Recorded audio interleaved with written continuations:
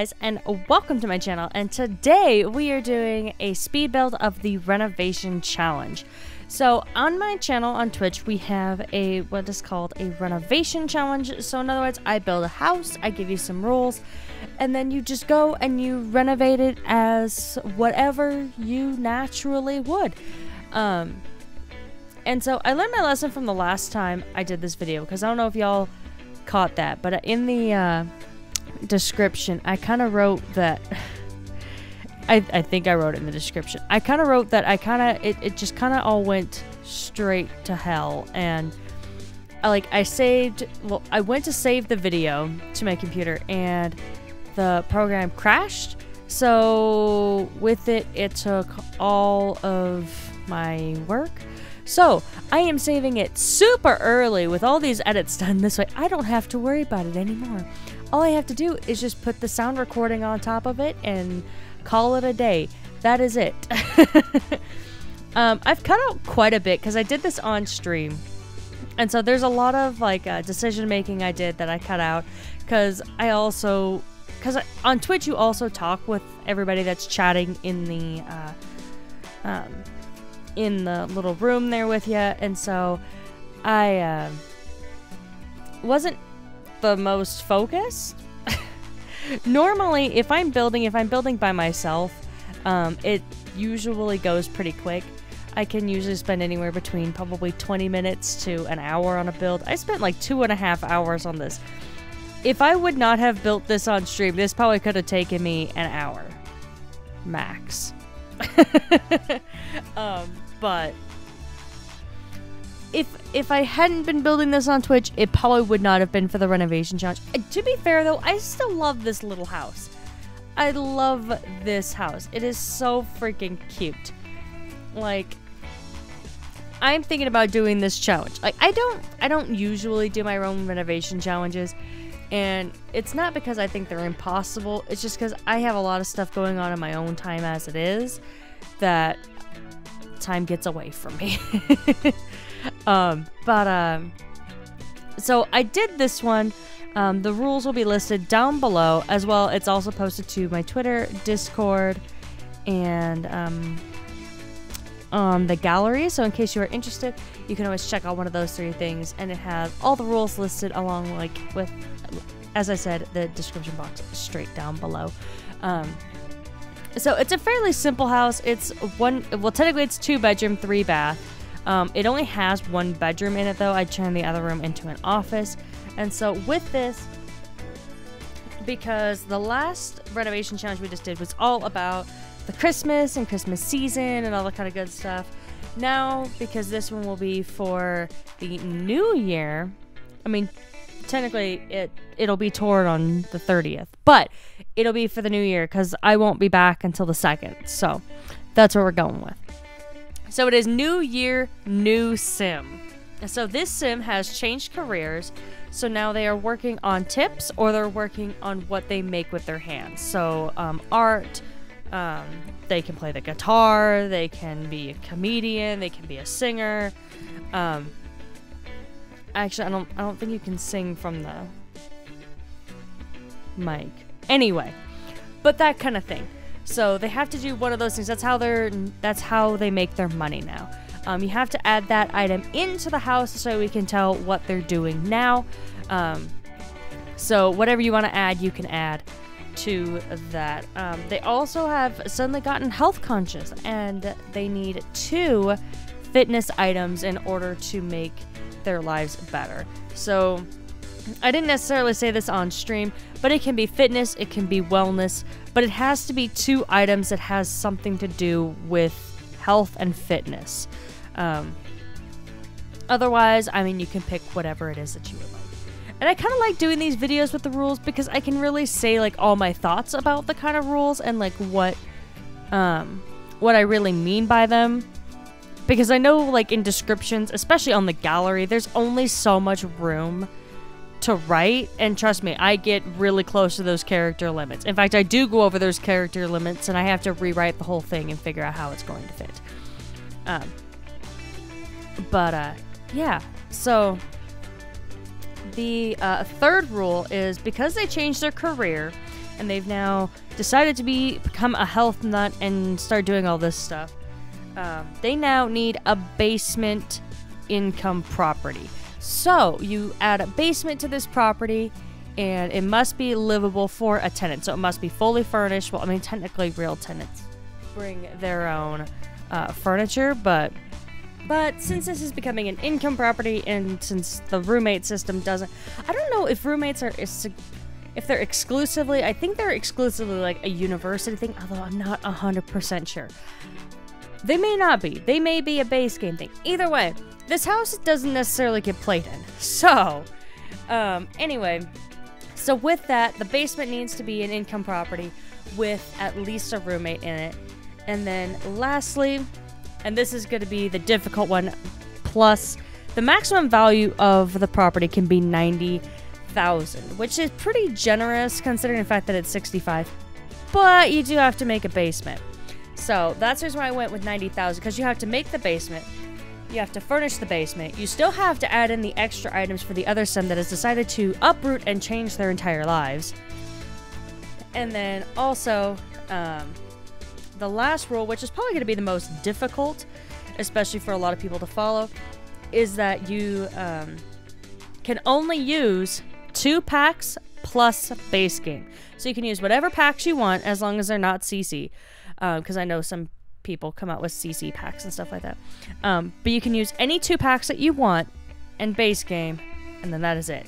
Those are the only items that you can use in the game. So, or in this renovation challenge. So, I hope you have fun with it. I hope you enjoy it. Um, I kind of just went through and furnished this, and I freaking love this house. I really do. Like, there's so much about this house that I love so much. Um, and I'm sitting going, why? Why do I build these houses that I get so attached to just to know I'm sending it essentially to the slaughter of the renovation challenge? And I expect it just to come back fine, I guess.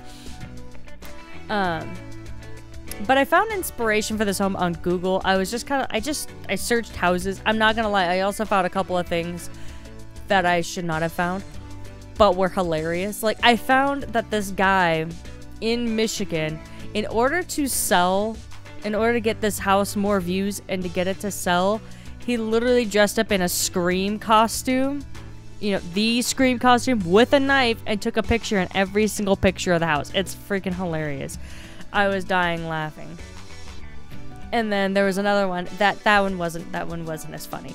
Uh, but I thought the journalists had a little bit of creative freedom the what they said was what they said was, well, what was the article title? It was something like "Murderer's House is free to other predators and murderers," and I'm like, what? What? And I open the article. No, what it is is that the house had been boarded up. I don't know if it was due to weather or homeless people or other murderers trying to break into it or whatever it, it doesn't really matter. Um, the boards had like kind of come off. And they're like, oh, well, since the boards are like lifting away, it's inviting other people to come in here and murder. And I'm like, okay, how about we calm down for just a second? But let's calm down for just a second. Just just because somebody else was murdered in this house does not necessarily mean everybody and their mothers looking at this house going, I need to murder in it. Okay. Like this is this is getting a little a little crazy. A little crazy. Okay? That's that's all I'm saying. But uh yeah, it got it got a little interesting for for sure. Uh, but I did find inspiration for it on there. In fact, I tried to kind of mimic how the outside looked, and then I didn't do the inside anywhere close to what they did. Honestly, I couldn't really see what they did on the inside. I guess if because I guess it was a video, and um, I just didn't have time to watch the whole thing while I was on stream. Plus, it's kind of rude to sit there and just watch a video on stream. Don't let show, show, don't show them anything. So you know, I uh, I kind of was like skipping through bits. So I mean, if I would have sat down and probably watched the video from beginning to end, I probably could have seen exactly where the walls were laid out and the doors were laid out. The guy literally was making like a miniature house, and it kind of looks like this, um, which is originally what inspired me to do it. It was like, you know what? A modern house? Like, I almost never do modern houses. And this sounds super fun and super interesting. So that's what we're doing. And I had a great time with it. And it was a lot of fun. And, uh, I just I hate trees with the gallery because when you do that, it doesn't allow you to like uh, you don't get to see the house because the trees are too busy being in the way. And so I took the tree out that was at the front. And it kind of kind of cuts around a little bit because, like I said, I talked a little bit and then I kind of just dawdled a little bit with it. And so um, I kind of cut some some unnecessary stuff out. Like I put curtains throughout the entire house. Um, but I kind of cut it out because it kind of got mundane. Because I also kind of moved them, picked them up, moved them, picked them up, moved them, and you know that kind of that kind of stuff. Um, so we're just finishing out this little garden here at the very front of the property, and then we will be going straight into the tour, and uh, you get to see this house in all of its wonderful glory. I do really enjoy this house. It is super freaking cute. So here we are. We're on the outside of the house and we're gonna move right on in. It immediately opens up to the kitchen and then into the, like the little dining space there. And I had a, I was struggling with how I wanted the stairs, but I'm really happy with the way the stairs turned out because I mean it makes it easy for your sim to access both ends, but it doesn't feel like at the top of the stairs your sims are met with a wall.